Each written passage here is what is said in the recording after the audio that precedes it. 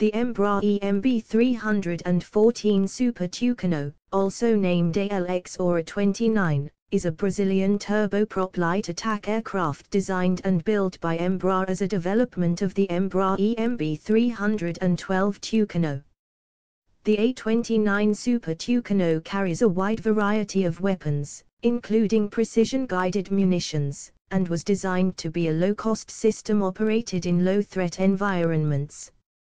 In addition to its manufacture in Brazil, Embraer has set up a production line in the United States in conjunction with Sierra Nevada Corporation for the A29's many export customers.